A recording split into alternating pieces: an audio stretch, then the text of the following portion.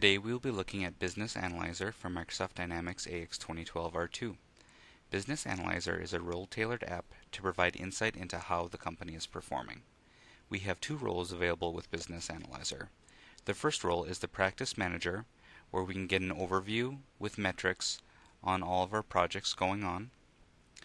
We can also go ahead and take a look a little bit deeper to check out our projects, drill in, and get all kinds of details to find out the specifics for that particular project. The second role is the CFO role. In the CFO role, we have a wide variety of data from financials to sales to other key metrics all around our organization. Here you can see the dashboard and Business Analyzer. The dashboard is designed so you can pin your favorite metrics to the starting page and then swipe or scroll to the right to get additional KPIs, charts, and management reporter reports. Business Analyzer has a set of content that it ships with, and then content can be displayed or hidden depending on the relevance to the user. Here I can deselect some KPIs that aren't relevant for me.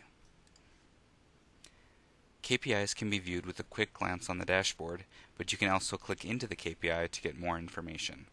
Clicking on Days Sales Outstanding, I can see the 12 month trend, but can also click to choose yearly to see the last three years, or click weekly to see how any recent process changes may have impacted the metric. Charts also have a quick dashboard view and the ability to drill in and do further analysis. If I click over on net sales, I can monitor my daily sales and then drill in by customer group or view by any of my financial dimensions. I can view the data in a few different formats, including the ability to switch to a grid view so I can see all the numbers that make up the chart. Again, I can switch time views and view weekly, monthly, or yearly for a different series of time. Lastly, we have the ability to add management reporter reports within the CFO role.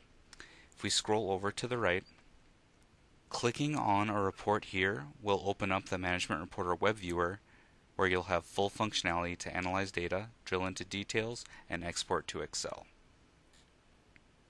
The Business Analyzer app is available in the Windows 8 store now. Go ahead and download it and give it a try for yourself.